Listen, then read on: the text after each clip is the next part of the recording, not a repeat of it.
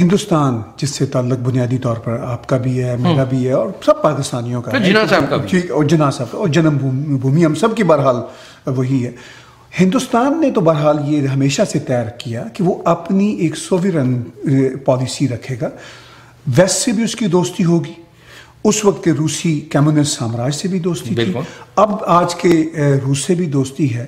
تو یہ پالیسی پاکستان کیوں نہیں اپنا سکا؟ Pakistan was run by the Anglo American enterprise Pakistan was never run by Pakistani ٹھیک لیکن نفرت تو بہت ہے پاکستانی لوگوں کی ویسٹ کے ساتھ۔ یہ ڈسفنکشنل ہے نا۔ ہر وہ شخص جو پاکستان آپ کو گالی دیتا ہے وہ پڑھا لکھا پاکستانی جس کے بچے کے ویزے کے لیے وہ لائنیں لگاتا ہے اسلام آباد میں۔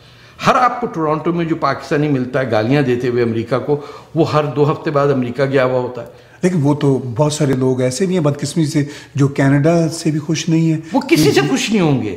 کرتلین حیدر نے اپنی کتاب آگ کے دریا میں لکھا ہے نا وہ ایک کیریکٹر پیٹر ہے یا کیا میں بھول رہا ہوں۔ اس نے کہا ہندوستان کا مسلمان جس سرزمین پہ بیٹھتا ہے اس سے گلا ضرور کرتا ہے۔ وہ کسی عربستان کی تلاش میں ہے جہاں کا عرب کہتا ہے ہمارے ملک میں مت آنا۔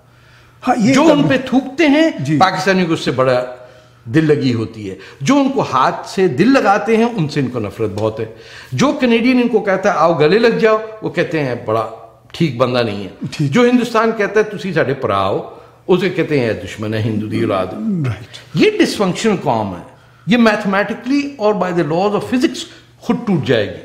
نہیں وہ تو خیر ٹوٹ چکی ہے بدقسمتی سے۔ ہاں۔ اور ہوگا کیونکہ ان کو ابھی تک ہوش نہیں آیا۔ کہ ان کے دوست اور دشمن کون ہیں؟ وہ کون سی قوم ہے جس کو لوگ حکارت سے دیکھیں اور وہ کہیں جو ہم کو سب سے زیادہ نفرت کرتا ہے ہم اس کے سب سے زیادہ الائنس ہوں گے۔ جس ملک میں مسلمان آزادی سے رہ سکتا ہے امریکہ اس کے دشمن ہے۔ جس ملک میں مسلمان آزادی سے نہیں رہ سکتا چین وہ ان کا دوست ہے۔ صحیح۔